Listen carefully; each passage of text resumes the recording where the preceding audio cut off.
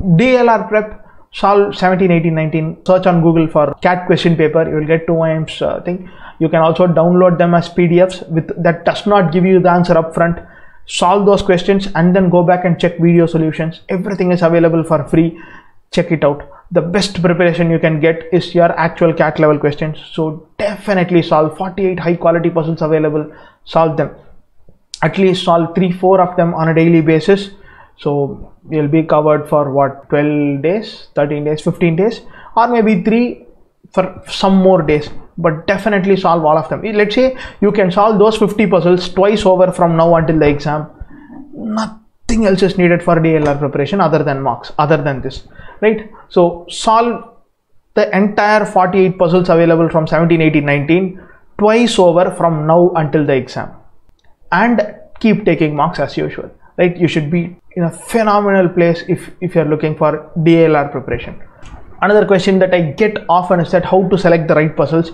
There is a fabulous blog article available on how to select the right puzzles. Definitely check that out. The blog article will also have a video embedded in it so puzzle selection 2IIM if you google you will get that right? I would have scrolled through a paper and then said hey what kind of candidate i am? What are my strengths? What are my weaknesses? Based on that how am i going to select puzzles right? I know a lot of people keep asking me hey i i, I cannot judge a puzzle in the first six seven minutes. Only then i am able to judge you got to get better at it. With the more number of mocks you take better you will become because every time you try something and then you fail you'll realize hey there's a pattern sitting inside. Finding pattern is almost everything in life right? So definitely take loads of mocks. So when you're taking mocks you know you're trying a question and then not figuring that out right? When you're going back in terms of your uh, analysis you should be realizing that hey, this type of graph juxtaposed with dabba dabba and bar graph and many other details available i'm i'm i suck at it. I should accept that and then say hey maybe this is not right for me. I'm going to give up on questions of this pattern.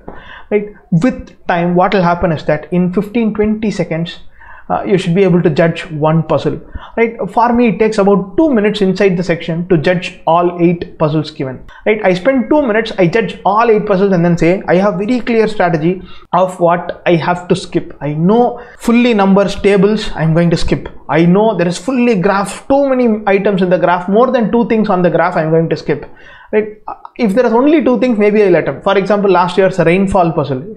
I did attempt and got, get all four of them right. But i know if there are more than two things it becomes too much for me to process i'll skip that right? I have very clear rules to skipping puzzles and then i know hey among the remaining i'll try whatever i can get.